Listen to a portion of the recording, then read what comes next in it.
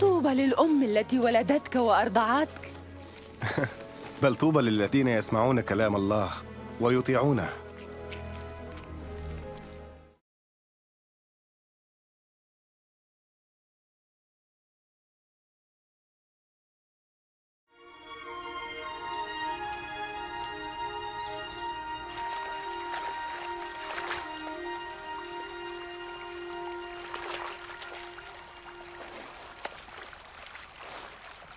علمنا كيف نصلي كما علم يوحنا تلاميذه. متى صليتم قولوا أبانا الذي في السماوات ليتقدس اسمك ليأتي ملكوتك لتكن مشيئتك كما في السماء كذلك على الأرض.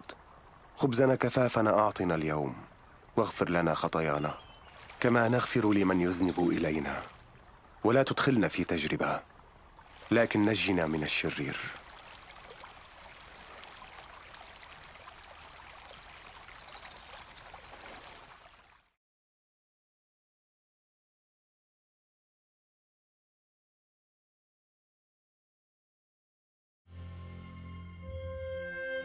في الكتاب المقدس يعلن الله أن المسيح سيأتي ليكون مخلص هذا العالم.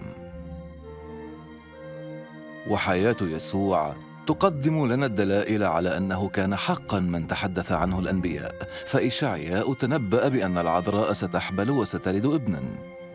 وبعد قرون كانت ولادة يسوع تحقيقا لهذه النبوة. أعلن الكتاب المقدس أيضا أن القدوس المولود من العذراء سيدعى ابن الله وهكذا كان يسوع ابنا لله ليس من منظور جسدي طبيعي بل من ناحية روحية. ونحن نرى هذا واضحا في الكيفية التي عاش بها يسوع حياته. إذ شفى المرضى وغفر خطاياهم وردهم إلى الله واعدا إياهم بنصيب في ملكوت السماوات. ثم قدم نفسه ذبيحة للتكفير عن خطاياهم وقام ثانية قاهرا الموت. قال يسوع عن حياته ليس أحد يأخذها مني بل أنا أضعها من ذاتي. لم تتمم حياة يسوع نبوات الأنبياء فقط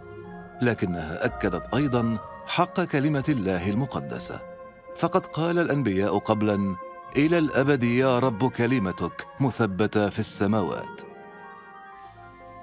ويسوع نفسه قال السماء والأرض تزولان لكن كلامي لا يزول.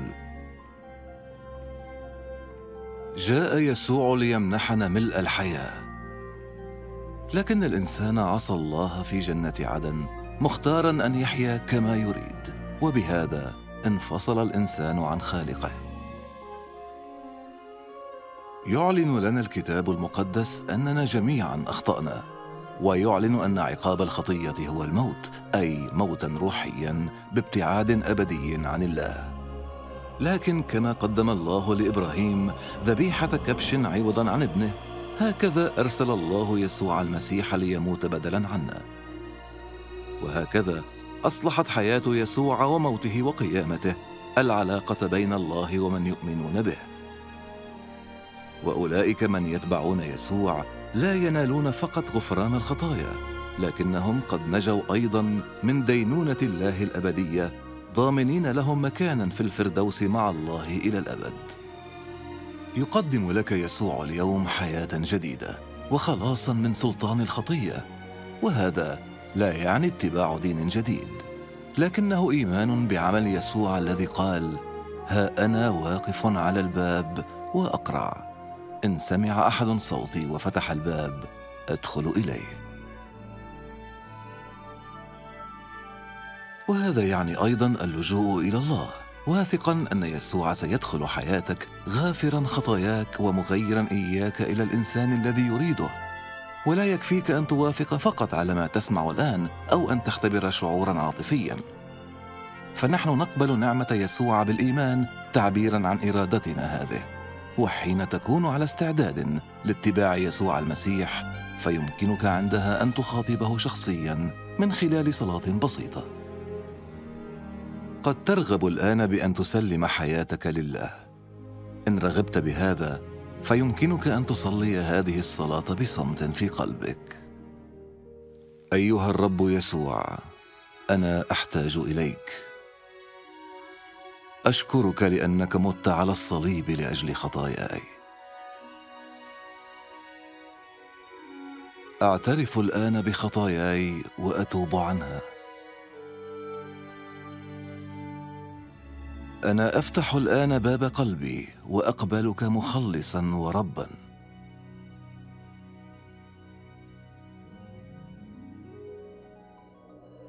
أشكرك لأنك غفرت لي خطاياي ومنحتني حياة أبدية.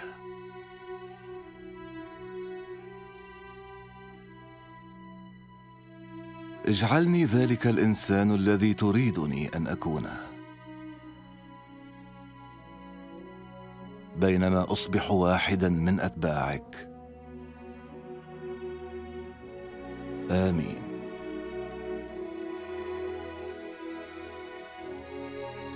قال يسوع عمن يؤمنون به خرافي تسمع صوتي وأنا أعرفها فتتبعني. لتختبر حياة البركة التي وعدك بها يسوع عليك أن تتحدث إليه في كل يوم بالصلاة وأن تقرأ كلمته. أخبر عما صنعه في حياتك والتقي بآخرين ممن أحبوه وتبعوه. وتذكر وعده الرائع دفع الي كل سلطان في السماء وعلى الارض وها انا معكم كل الايام الى انقضاء الدهر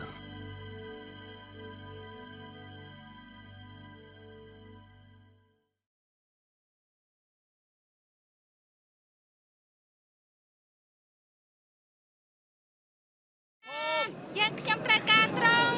មានពរហើយផ្ទៃណាដែលបានរក្សាលោក តែមានពរឲ្យអស់អ្នកណាដែលឮព្រះបន្ទូលព្រះហើយប្រព្រឹត្តតាម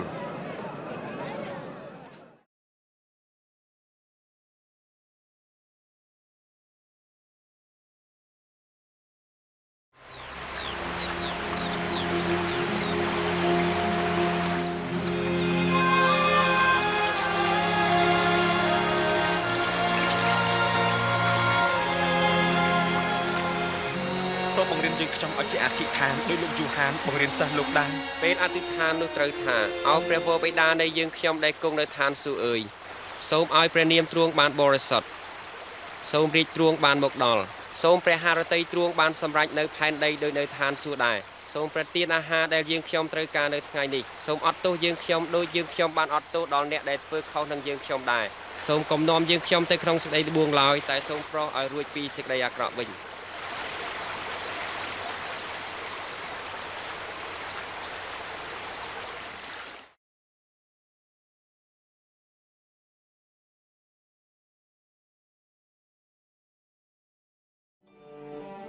ជាយូរលង់មកហើយពួកហារ៉ាបានចាញ់ក្នុងគម្ពីរថាព្រះនឹងចាត់ព្រះមេស៊ីឲ្យមកសង្គ្រោះមនុស្សមានបាបហើយផ្សះផ្សាពួកគេឲ្យជានាជាមួយព្រះវិញ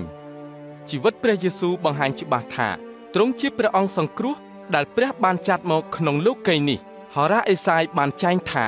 មើលនាងព្រហ្មចារីនឹងមានកប្រសូតបានបុត្រមួយ ការនេះក៏កើតមាន នាងម៉ារីមានកដោយសារព្រះចេស្តារបស់ព្រះហើយនាងប្រសូតបានព្រះយេស៊ូវ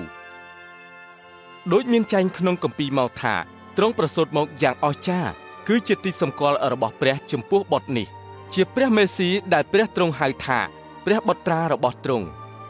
នៅពេលបណ្ដាជនឃើញព្រះយេស៊ូវពួកគេឃើញពីលក្ខណៈនិងចេស្តារបស់ព្រះទ្រង់បានប្រោសបណ្ដាជនឲ្យជាហើយអត់ទោសបាបឲ្យគេផងទ្រង់បានសន្យាថានឹងទុកកន្លែងមួយក្នុងនគរទ្រង់ដែលនៅឋិតថេរអស់កាលជានិច្ច ព្រះយេស៊ូវបានបូជាព្រះជន្មហើយរងទុក្ខលំបាកដើម្បីមនុស្សទាំងអស់នៅពេលព្រះអង្គមានព្រះជន្មរស់ឡើងវិញទ្រង់បានបង្ហាញអំណាចដ៏ធំធេងរបស់ទ្រង់ដែលឈ្នះលើសេចក្តីស្លាប់ខ្ញុំមានអំណាចនឹងស៊ូបដូរជីវិតរបស់ខ្ញុំហើយក៏មានអំណាចអាចយកជីវិតនោះមកវិញដែរជីវិតរបស់ទ្រង់នៅលើផែនដីគឺស្របទៅតាមសេចក្តីដែលពួកហោរាបានចែងទុកជីវិតរបស់ព្រះយេស៊ូវបញ្ជាក់ថាព្រះបន្ទូលទ្រង់គឺជាការពិតឥតផ្លាស់ប្រែឡើយពិតមែនហើយព្រះយេស៊ូវជាព្រះបន្ទូល ព្រះយេស៊ូវនេះហើយដែលព្រះបើកសម្ដែងពីអង្គទ្រង់ផ្ទាល់ឲ្យមនុស្សលោកបានស្គាល់ព្រះយេស៊ូវមានបន្ទូលដោយផ្ទាល់ថាផ្ទៃមេឃផែនដីនឹងកន្លងបាត់ទៅ តែពាក្យខ្ញុំមិនដែលកន្លងបាត់ឡើយកាលដើមដំបូងឡើយព្រះបានបង្កើតមនុស្សប្រុសនិងស្រីដើម្បីឲ្យពួកគេរស់នៅរីករាយក្នុងវត្តមានទ្រង់តែពួកគេមិនទុកចិត្តនិងមិនស្ដាប់បង្គាប់ទ្រង់ឡើយទង្វើនេះធ្វើឲ្យពួកគេផ្ដាច់ចេញពីទ្រង់ព្រះគម្ពីរបានចែងថា មនុស្សគ្រប់រូបមានបាបហើយលទ្ធផលនៃអំពើបាប គឺសេចក្តីស្លាប់មនុស្សមានបាបមិនអាចមានទំនាក់ទំនងជាមួយព្រះបានឡើយដូចជាព្រះបានផ្គត់ផ្គង់ឈាមឲ្យយកទៅសម្លាប់ជំនួសកូនអាប់រ៉ាហាំយ៉ាងណាព្រះក៏បានចាត់ព្រះយេស៊ូវមកសគត់ជំនួសយើងទាំងអស់គ្នាជាកូនចៅអាដាមយ៉ាងនោះដែរទ្រង់ធ្វើដូច្នេះដើម្បីឲ្យអស់អ្នកដែលជឿនិងទុកចិត្តលើព្រះយេស៊ូវអាចចូលទៅក្នុងវត្តមាននៃព្រះបាន លោកពេត្រុសបានថ្លែងថាព្រះយេស៊ូវគឺជាព្រះមួយអង្គគត់ដែលហោរាទាំងអស់បានថ្លែងពីទ្រង់ថាព្រះនឹងអត់ទោសបាបឲ្យអស់អ្នកដែលជឿលើទ្រង់ដូច្នេះអ្នកណាដែលជឿលើព្រះយេស៊ូវនឹងរួចផុតពីទណ្ឌកម្មហើយនឹងរស់នៅជាមួយព្រះជារៀងរហូតពេលព្រះយេស៊ូវមានព្រះជន្មរស់ឡើងវិញទ្រង់មានបន្ទូលទៅកាន់ពួកសាវកថាចូលប្រកាសប្រាប់ពីព្រះនាមទ្រង់ដល់អស់ទាំងសះដោយនៅព្រះនាមទ្រង់ថាព្រះនឹងអត់ទោសបាបដល់អស់អ្នកដែលប្រាជ្ញចិត្តហើយវិលមករកទ្រង់វិញ ទ្រង់បានសន្យាថាទ្រង់នឹងចាត់ព្រះវិញ្ញាណបរិសុទ្ធមកគង់នៅជាមួយពួកសិស្សដើម្បីបង្ហាញពីសេចក្តីពិតនិងប្រទានព្រះចេស្តាដល់ពួកគេដើម្បីដើរតាមផ្លូវរបស់ព្រះពេលស្ត្រីមានបាបម្នាក់បានលន់តួហើយដើរតាមព្រះយេស៊ូវទ្រង់បានមានបន្ទូលទៅកាន់នាងថា បាបនាងបានអត់ទោសឲ្យនាងហើយសេចក្តីជំនឿរបស់នាងបានសង្គ្រោះនាងហើយ ព្រះយេស៊ូវមានបន្ទូលថានៅពេលមនុស្សម្នាក់ស្រឡាញ់ព្រះពិតប្រាកដនេះជាសក្ខីភាពដែលព្រះបានអត់ទោសបាបឲ្យគេព្រះយេស៊ូវជាព្រះមេស៊ីបានហៅមនុស្សឲ្យដើរតាមទ្រង់នៅពេលអ្នកទោសម្នាក់ដែលជាប់ឆ្កាងជឿលើព្រះយេស៊ូវហើយសូមឲ្យទ្រង់សង្គ្រោះខ្លួនព្រះយេស៊ូវមានបន្ទូលថាថ្ងៃនេះអ្នកនឹងទៅឋានបរមសុខជាមួយខ្ញុំដែរអស់អ្នកដែលសម្រេចចិត្តដើរតាមព្រះយេស៊ូវគេអាចចាប់ផ្ដើមមានទំនាក់ទំនងផ្ទាល់ជាមួយទ្រង់ដោយប្រើពាក្យដូចនេះ ព្រះអង្គម្ចាស់យេស៊ូវអើយខ្ញុំត្រូវការព្រះអង្គអរគុណព្រះអង្គដែលបានសគត់លើឈើឆ្កាងជំនួសអំពើបាបខ្ញុំខ្ញុំសូមបើកទ្វារជីវិតខ្ញុំទទួលព្រះអង្គធ្វើជាព្រះអង្គសង្គ្រោះនិងជាព្រះអង្គម្ចាស់របស់ខ្ញុំ។ អរគុណព្រះអង្គដែលបានអត់ទោសបាបឲ្យខ្ញុំហើយប្រទានជីវិតអស់កលជានិច្ចដល់ខ្ញុំសូមទ្រង់យាងមកសោយរាជលើបល្ល័ង្កជីវិតខ្ញុំ សូមកែច្នៃខ្ញុំឲ្យទៅជាមនុស្សដែលព្រះអង្គសពព្រះハរតីអាមែន